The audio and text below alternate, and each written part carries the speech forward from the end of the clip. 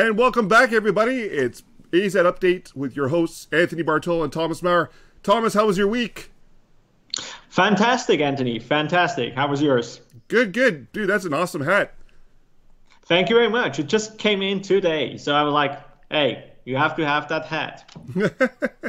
so thank you very much for everybody who's joining us on the show today. Um, quick shout out to everybody that's reached out. We sent out some promo pics on social yesterday, and the first comment we got back was, guys, awesome, you guys are wearing suits.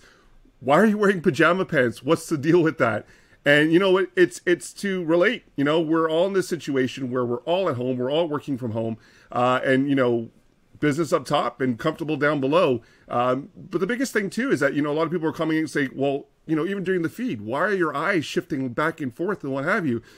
We're doing this ourselves, right? This is Thomas and I. We're we're on the camera. All the equipment is you know in my basement, in his in his kitchen uh, and we're we're doing this ourselves. So when you see us look down or look to the side, it's not because you know we're we're we're not paying attention. We're actually operating a switchboard in front of us. We don't have a producer. Um, Pierre Roman is in the back uh, answering your questions on social. Uh, so if you're following the AZ uh, AZ Ops hashtag on social, you can you know tweet out there or tweet out right on the live stream. Thomas, like, what do you think, man? Like, is awesome that we're, we're in the Blazers and we're you know it's comfortable with the, with the, the PJ pants. I can't tell you how much I love doing that with the PJ pants. Yeah, absolutely. I, I think this is like the most comfortable news show ever. Um, and you're absolutely right. I'm sitting currently in my kitchen. Um, you won't believe it. Uh, people like from the production quality, actually, people would think, hey, Thomas must be in an awesome studio. but no, uh, I'm actually sitting here in my kitchen currently to record at this news show. Now, last week, another show actually called us out, and I know Thomas, you wanted to talk about that today. Oh yeah, absolutely. So, I mean, last week was our first episode, right, of the uh, AZ Update news show, and um, we had an amazing amount of people in on our show, uh, people watching it, a lot of great comments about it, and like people were happy with what we could deliver and even another new show or another show on YouTube or on Twitch. I think they are. They're still on Twitch. I mean, yeah. Uh, but like, so Patch and Switch is that is uh, picked us up here uh, and basically was talking about our show. And they were like saying, "Hey, they did a great job. They're speaking about news in Azure and things like that." Um, however, believe me or not, they mentioned, "Oh, by the way, they're not as funny as we are." And I was like we are not trying to be funny here. We are a serious news show here. I even have paper here in front of me, which you can't really see because of that. But there's also nothing written on the paper. But we are a serious news show, and we take this stuff very serious. I, I had to go out and buy my blazer. I still have the tags on. I don't know if I'm supposed to take this off or not. It's, it's you know, this is news, right? So we're trying to report on Azure News, and maybe we're not that funny, or maybe we're not that funny looking. Who knows, right? yeah, maybe maybe it's that. Maybe it's that. No, absolutely. So really hope that people enjoyed it. Um, and I think we would right jump right in into the news, right? Yep, let's jump back into the news. So Thomas, take it away. Okay, so first up this week, we want to talk about some announcements the Azure Storage team had to make. And they were talking about new features uh, coming to Azure Archive Storage, right? Uh, they went, it's already general available, and Azure Archive Storage is a great way of you like to store your, obviously, archives and your long-term storage, right? So it's a very, very cheap solution for like storing files.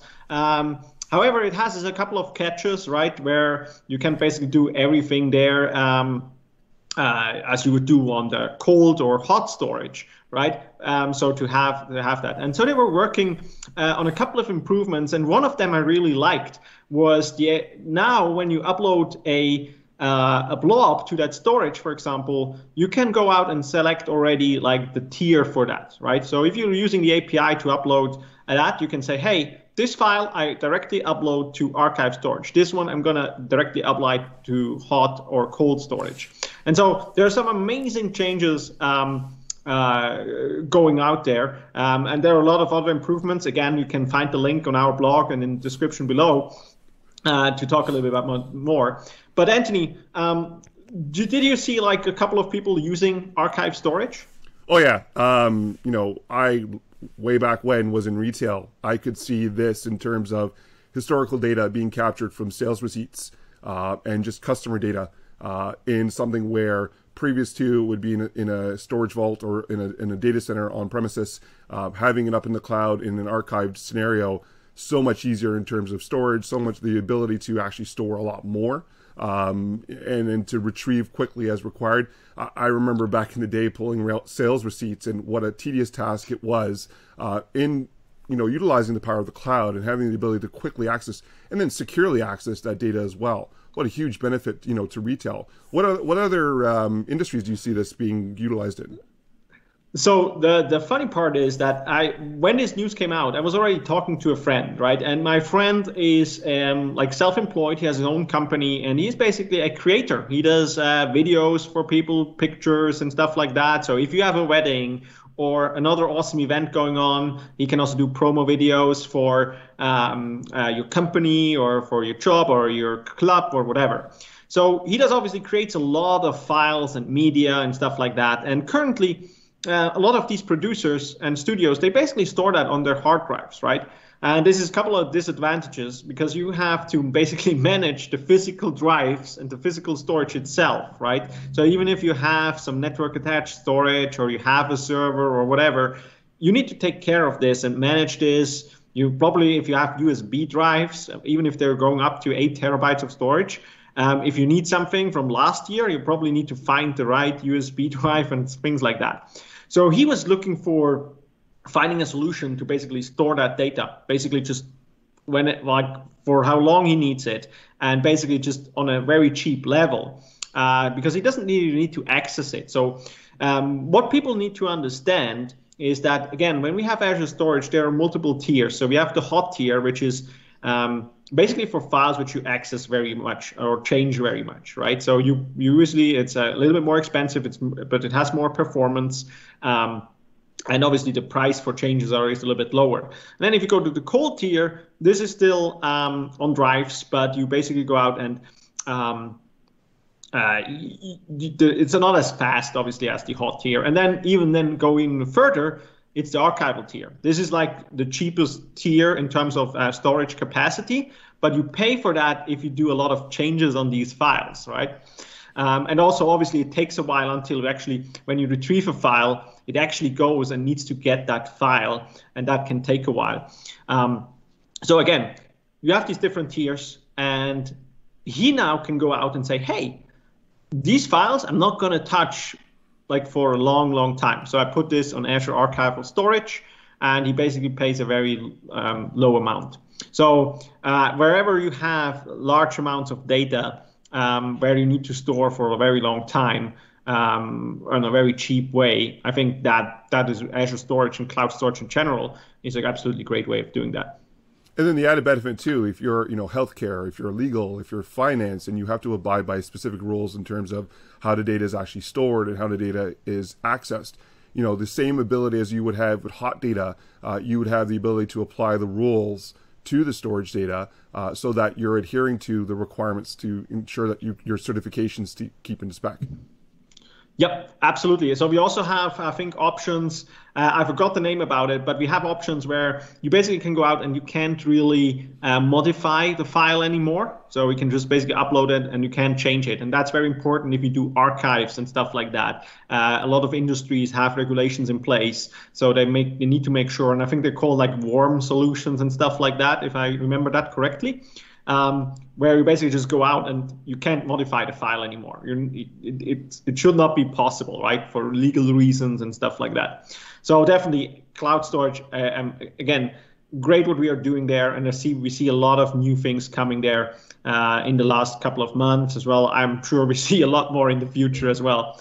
Um, but then you also have some interesting news to share, right? Uh, you, I heard you had some news about Identity and Security Center.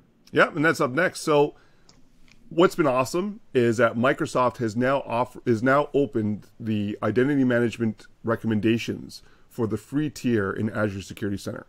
This is big because prior to this was a, a, a paid uh, scenario. Now it's a solution where via Azure Security Center in a free tier, providing you, you know, what you should look into in terms of securing your organization from an identity perspective.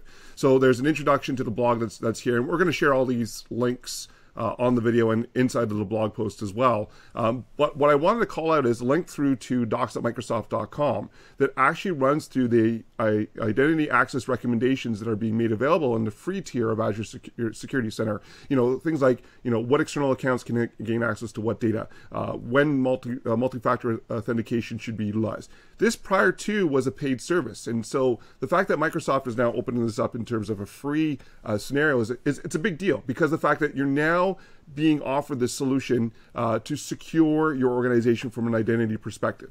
We've talked about this before. The whole aspect of your data being the new currency that everybody wants to get their hands on. And so those touch points in terms of individuals accessing that data. You want to prove that they're actually who they say they are. Uh, if you have individuals that are coming from outside, you know, how are you ensuring that they're secured? And and having this from a from a free scenario, it, it's a best play for everybody in terms of security and for that ability to, you know, we mentioned this last last show. I'm not a security specialist. You're not a security specialist.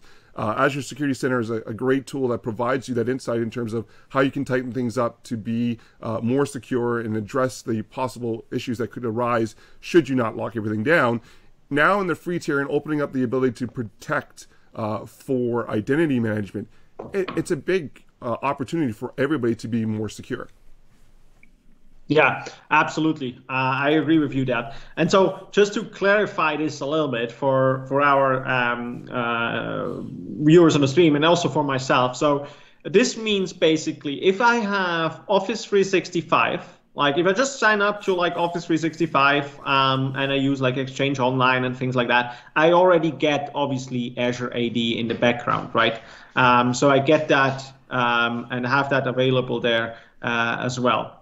Um, so I heard that there is a little bit of a problem on the stream, by the way, Anthony, with like not hearing you. Like we cannot hear you on the stream. So, so what I'm, what I'm actually bit... hearing is that there's an issue in the stream in terms of audio where on one, so on the left side is my, you can hear myself, and on the right side you can hear Thomas.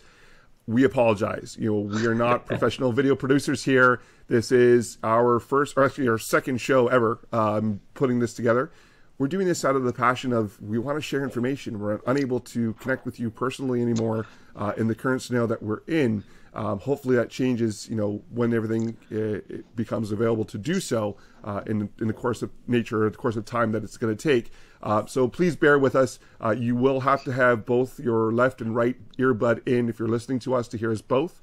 Um, it is something that we're going to address for our third show, and we apologize for the technical difficulties uh, that we may be having. But again, Thomas and I are not professionals at this. This is something that you know I'm doing in my basement. He's in his kitchen. We're trying to get the news out there. We're just going to get better every time we move forward in terms of the show. Um, so back to this okay. new, back to this news here. So yep. You know, so yeah, this is this is a big deal, right? So Azure Active Directory embedded into Office 365. We're not security specialists. We're not video specialists either, apparently. And we have this scenario where, um, you know, there's pertinent data that that needs to be secured. Um, how do we, you know, Azure Security Center is that offering that is an added bonus, and especially now the fact that they've, you know, made this available in the free tier to provide insight in terms to what needs to be addressed. It's a clickable solution, right? It's it's providing you this report, and it provides you the links in terms of okay, what are the next steps now to button down uh, your individual's identity on your organization's information.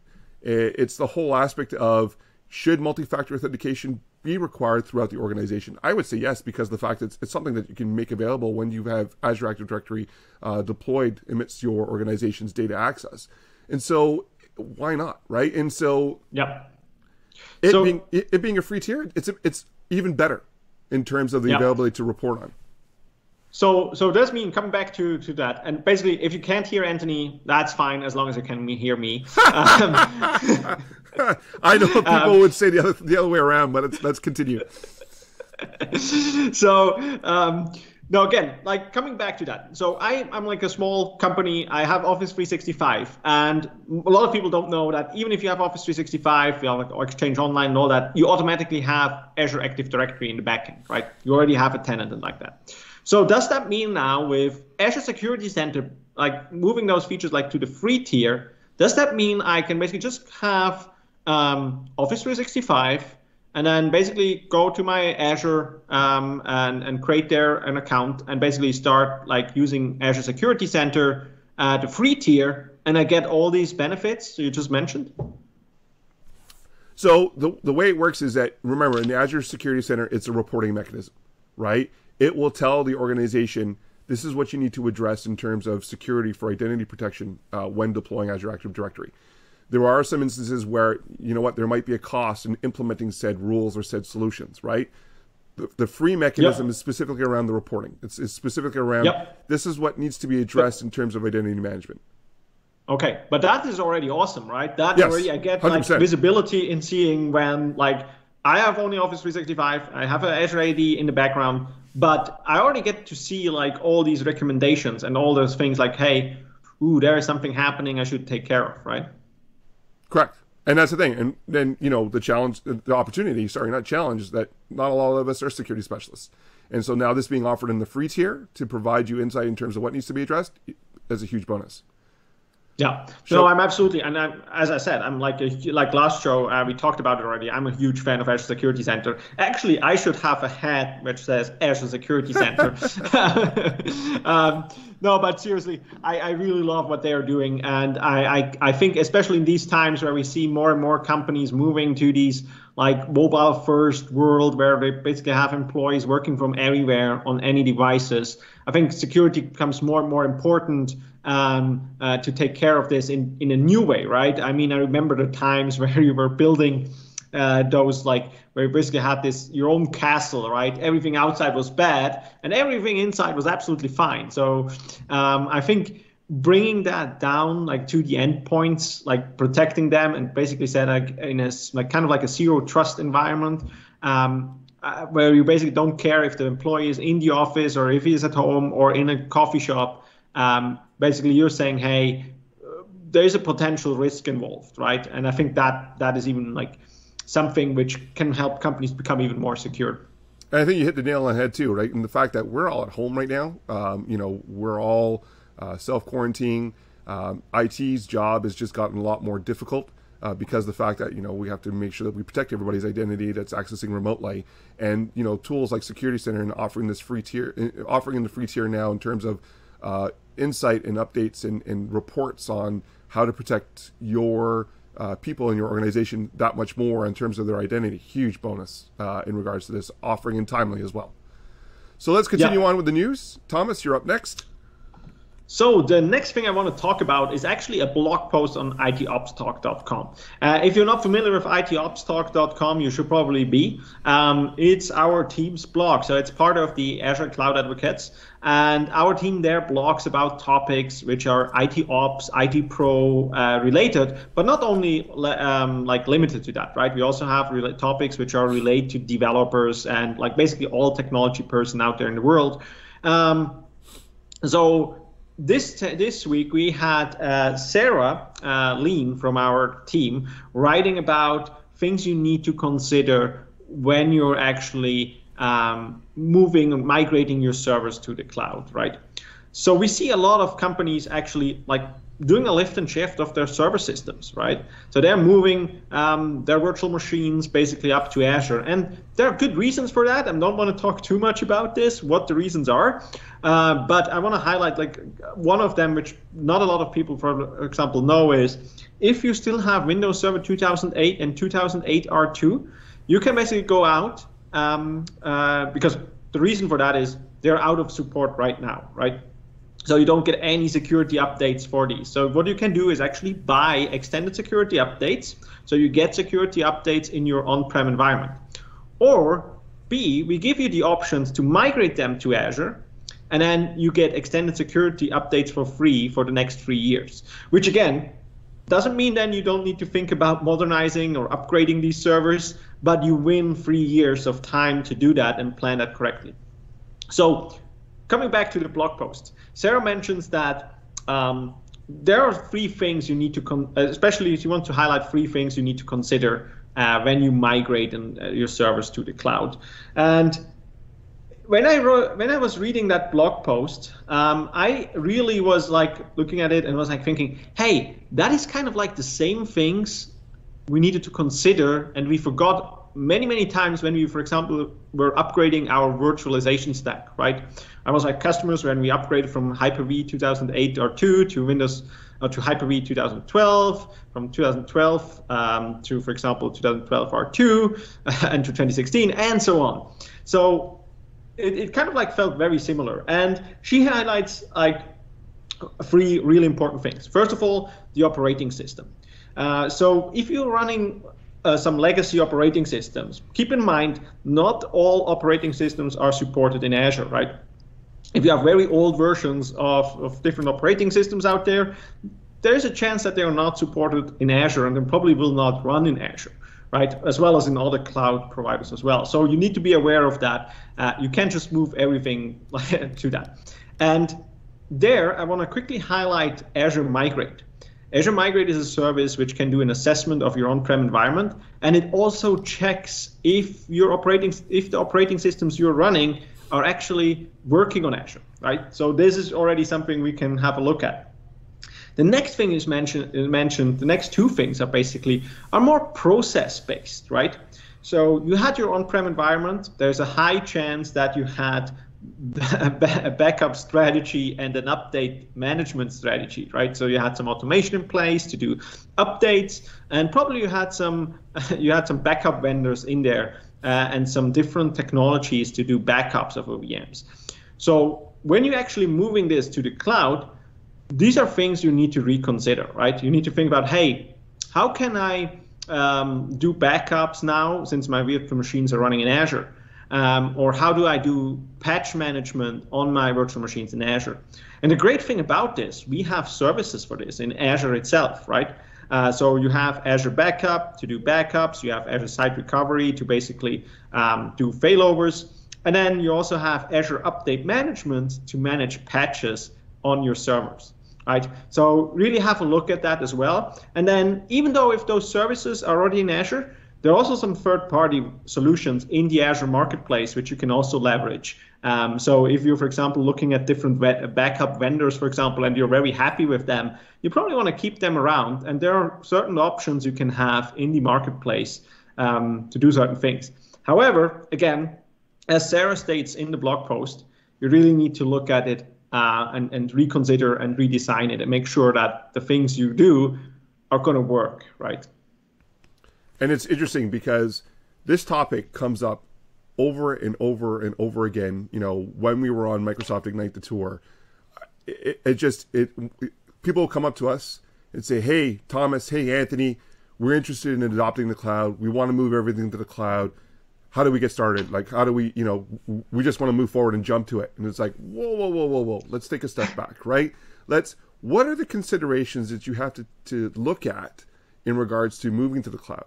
Right? And and this is the thing we've seen all types of verticals come to us in medical, legal, education, you know, retail, um, interested and eager to move to the cloud. But it's like we're just going to do a lift and shift. We're gonna we're gonna take all our virtual machines, we're gonna spin them up into the cloud, and we're gonna run. And yeah, it's the easiest way to do it. Um, but are you taking consideration who needs access to your data? What architecture has to be put into play? What are the um, iso standards or security requirements or hipaa requirements? You know there's so much to think about. It's it's just it, a lift and shift is possible 100% but make sure you're taking these things into consideration when adopting yeah. cloud yeah, absolutely. I mean, again, as you mentioned, those are those are the things which now, when you when you say it, sound like very obvious, right?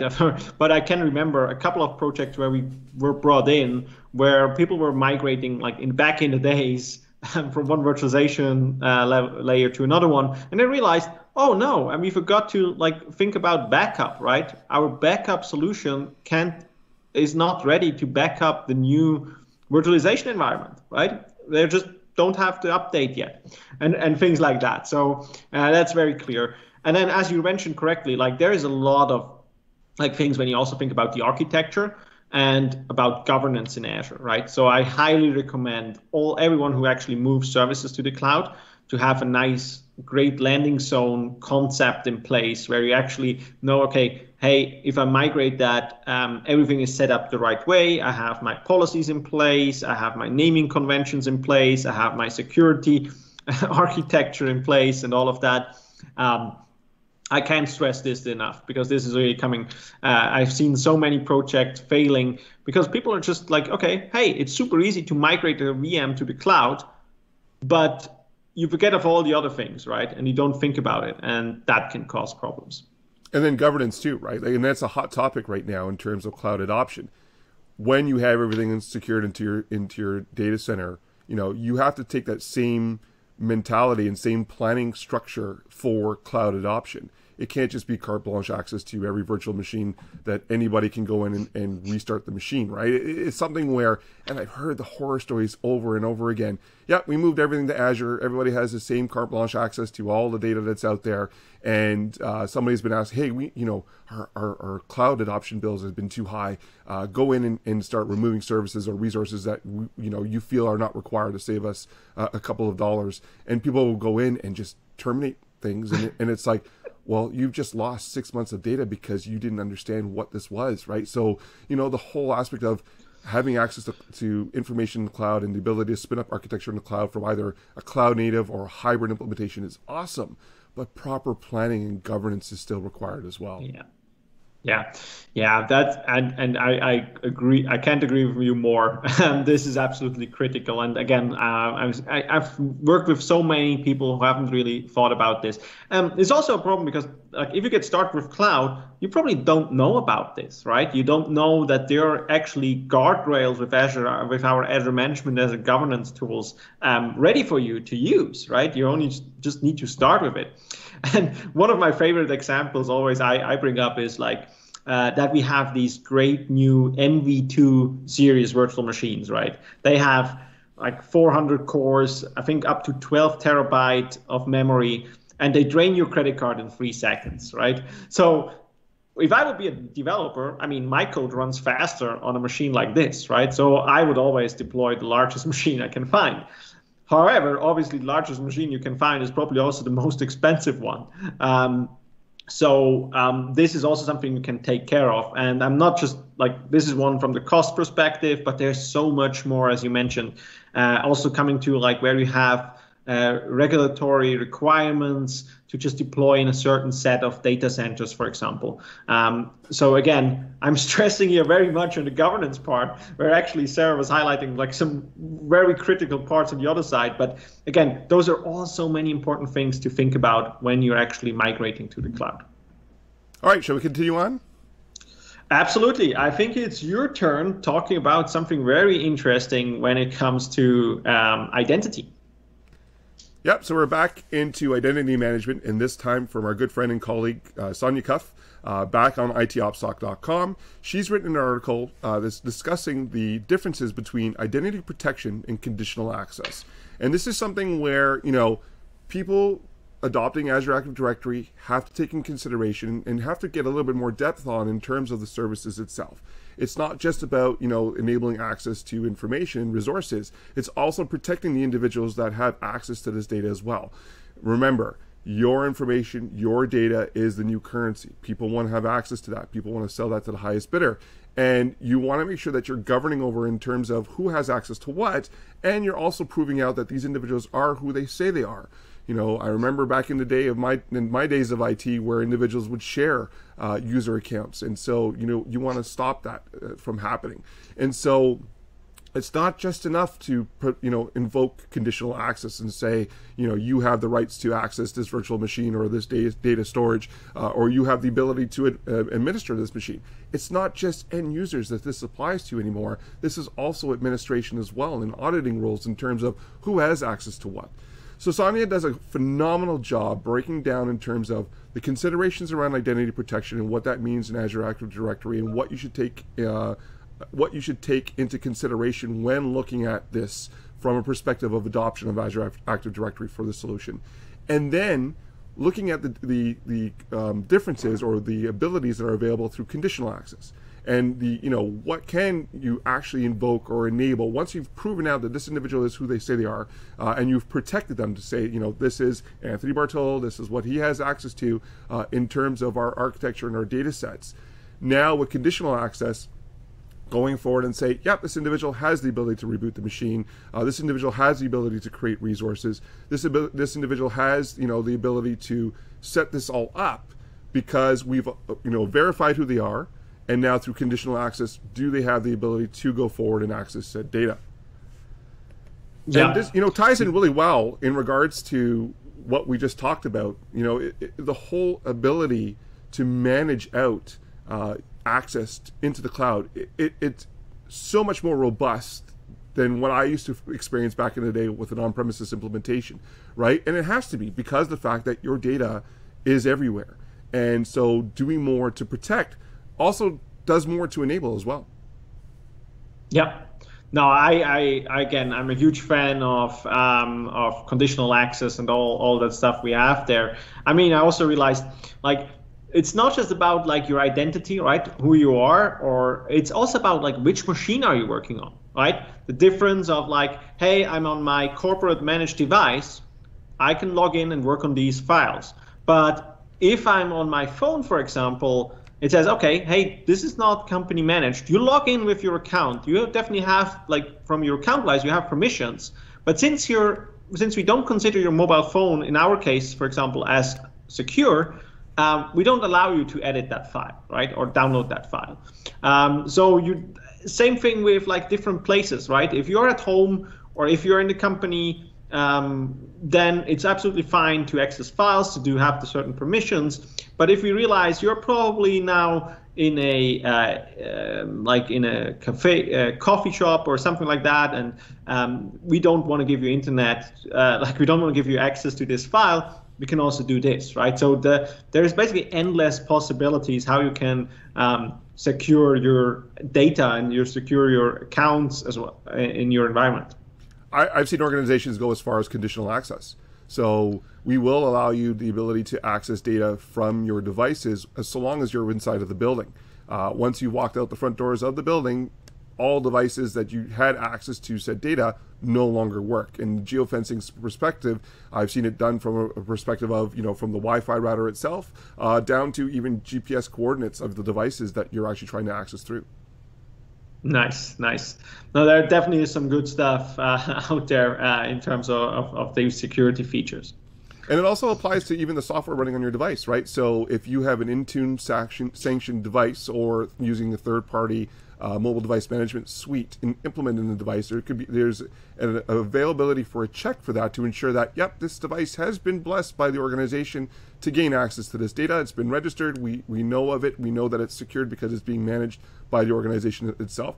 And that also applies to bring your own devices as well. And you know, it is something where uh, there would be a client that would be loaded on your machine that you actually own. But if it's something that you want to utilize to gain access to the organization's data. It's something that you would have to move forward with and allow for that organization to have uh, access or to deploy said applications to ensure your device is secure. Then that too will also, you know, in terms of conditional access, allow you or disallow you access to said data. Yeah. No, again, fantastic, fantastic uh, technologies we have there. And again, I don't think this is so new, right? This is not something which is um, like just out of the gate, right? Uh, I think we just talked about a couple of different improvements and stuff like that. But there are companies out there they're using that already for a long time, right? Yeah, and that's the thing, right? So this is the evolution uh, of you know access or conditional access coming from on-premises into the cloud, seamless in a hybrid or cloud-native scenario, um, and again timely in the fact that we're all working from home right now, and the ability to gain access to said data securely, huge bonus, right? Yeah, absolutely, absolutely. So let's, let's, continue on. Uh, Thomas, I know you want to talk about a big event that's currently happening right now. Yeah, so in our What's Going On uh, section, basically, we have this week, and it's currently running right now, um, the Global Azure Virtual 2020 event, right? Um, people are probably familiar, again, I think we mentioned that in our last show last week uh, with the Azure Global Bootcamp. And those were usually like a one day event, like around the world where different communities come together and learn together Azure. Now this year thing, things are a little bit different. Um, uh, obviously we can't do in-person events. Um, so what the organizer does, and again, those are all uh, people from the community, right? This is not Microsoft organizing it. There are many Microsoft speakers helping out with sessions and, and interviews and stuff like that. But again, this is completely organized by the community around the world, right? Uh, and they're running now, uh, yesterday, they're running today, and they will run tomorrow uh, as well with some awesome sessions and live shows and again different communities around the world. Um, I highly recommend that you go to globalazure.net.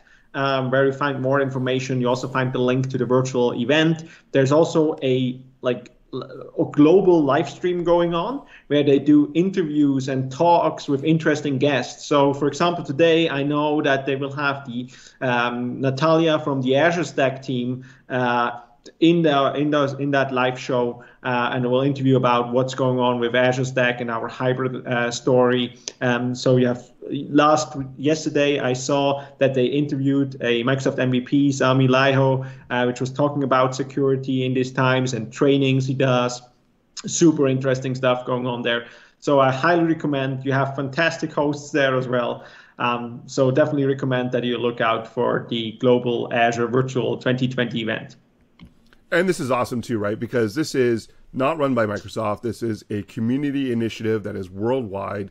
Uh, in this time, in, in, in, this age that we are connecting to everybody through uh, technology, uh, the ability for like-minded individuals and individuals that you know have great ideas to share that, to share their passions, to share their you know insights in terms of cloud community, cloud connection, cloud computing.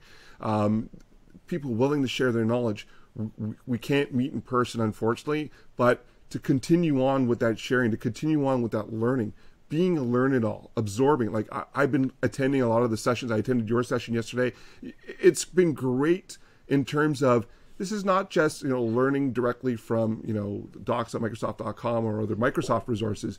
This is real world implementation that's happening uh, in the field from you know organizations as as large as you know uh, Fortune 500 cor- uh, corporations to small uh, small uh, medium sized businesses as well around the world North America Europe Asia you name it it's it's been phenomenal yeah, absolutely. I've seen there are like like events in the UK going on, UK and Ireland. I saw like Serbia, a Balkan event. I saw events in the US, as you said, in Asia. Um, I really love what people are doing um, there. And again, this is as you said, it's it's from the community for the community and i love the passion those people have to share their knowledge and what i also want to highlight it's not just sessions right it's not just everything is like one way like one way direction presented it's really they have different formats so there will be discussions interviews you can have chats um, i have seen many many like different events and, and live streams doing different kind of like learning and that's and that's what I love about this, right? Like I'm definitely a hands-on learner. Uh, there, I've seen hands-on labs that people are walking individuals through. Um, the bug, the bug hunt is another big one as well, where you have an individual leading the hunt uh, in terms of bugs, in terms of uh, services that are available, and then producing that, you know, in terms of a report uh, to the engineering teams at Microsoft in terms of, hey, this needs to be addressed. This is what we've come up in terms of bugs that we've learned in terms of a community. Uh, there's a lot of things, you know, in perspective of creation of services, we don't know it all, right? And and we want to hear from the community in terms of what needs to be addressed, in terms of what can make things better, what can make people's lives easier. Um, I know a lot of the features that are being added on to a lot of the services that are made available are definitely requests that are coming out from around the world, and that's why you know when community events like these uh, occur, we're so appreciative uh, and we love participating because we learn so much from you, uh, the community, in terms of what do you actually need in cloud computing.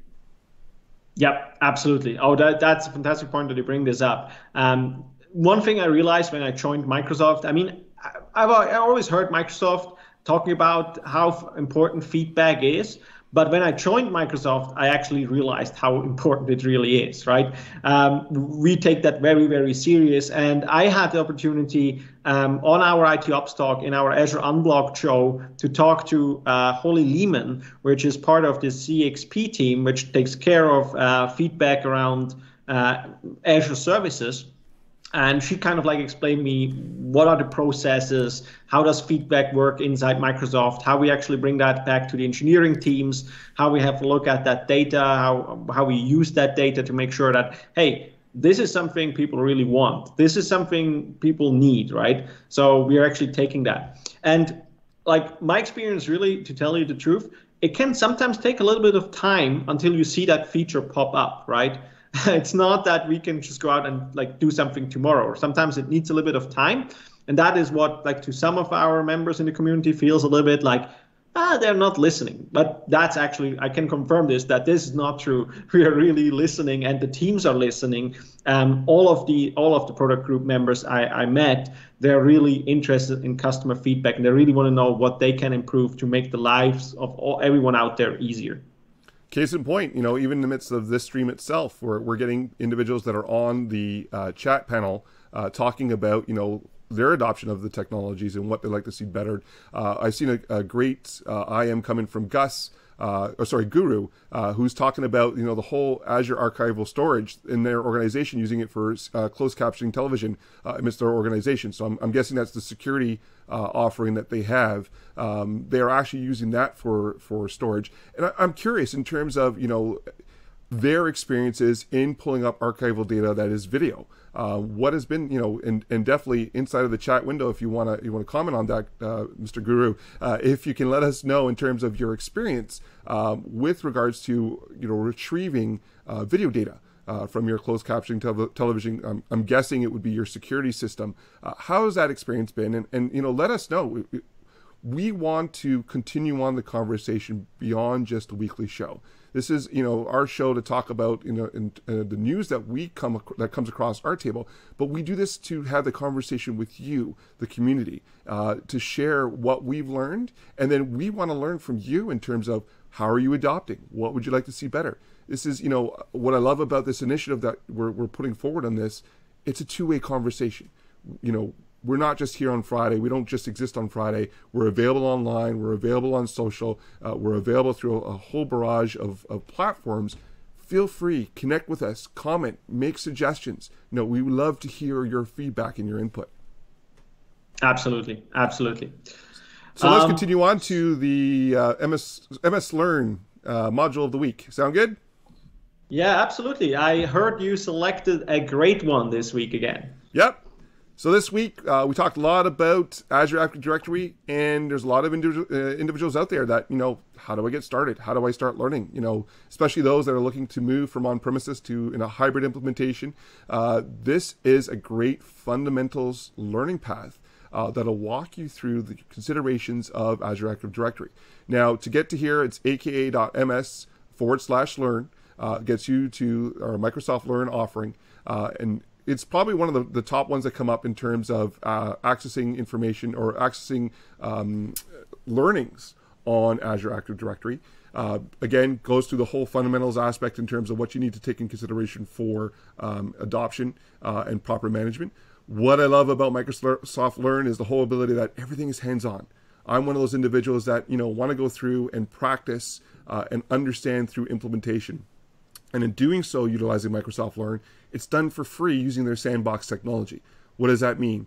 It takes Azure, it creates an account uh, that allows you inside of the sandbox to, you know, run through hands-on labs that are at no cost to you. It's a completely free resource. So this week, you know, we want to bring attention to this in terms of Azure Active Directory because there was so much about it in the news this week, uh, so that you can go forth and actually start playing with the implementation and understanding what the Azure Active Directory offering has to offer.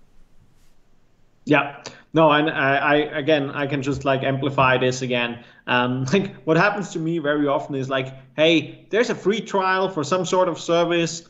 uh, and then you say, okay, that's actually good. I want to try this. And then the first thing you need to do is like enter your credit card. And like, yeah, even though right. I'm not going to do that. And with Microsoft Learn, that's absolutely not the case, right? No credit card required. You just can go out uh, and use the Learn platform, and you can use our sandbox technology to basically try out things in Azure. And I, I believe that this is amazing. By the way, I'm using Learn and Docs a lot to prepare for Microsoft exams, right? So when I'm currently doing any Microsoft exams, I'm using that platform. I'm not using something different. I'm really using that platform to get to learn about it uh, and to prepare for exams as well. Or also, if I'm just like interested in a topic, right? If there is anything I'm interested, it doesn't necessarily be, need to be an exam. If I'm now want to learn more about the identity stuff, I'm definitely going to check out um, Microsoft Learn um, because they cover so much about it, and in a such communicable way, you can actually learn about it, right? Oh yeah, hundred percent. And and that's the thing. I'm preparing for uh, writing of exams as well. Um, in the fundamentals uh, exam that I wrote, you know, Microsoft Learn was a huge resource for me uh, to go through in the in the hands-on. Um, looking at more of the security certification right now, and that's why I'm actually going through the Azure Active Directory uh, fundamentals just to get my uh, feet wet again and getting into the into the rhythm in terms of uh, absorption of content. And, and, again i learn hands-on so it's been a phenomenal tool for me. Uh, thomas we are at time uh, with the show. Uh, anything else you want to add for this week? No i think that is it was absolutely awesome to be here again this week. I really hope um, that everyone will tune in again next week for our next friday episode of the azure uh, update show and again, was a pleasure to be here with you, Anthony. Again, um, see you soon. Yeah, and see you soon. And remember, those of you that are watching, this is a two-way conversation. Please feel free to comment in the comment sections below, or on the blogs that we've shared with you today, or via social using the hashtag AZOps. Uh, with that, we are signing out for episode two, and we'll see you next week. Cheers, all.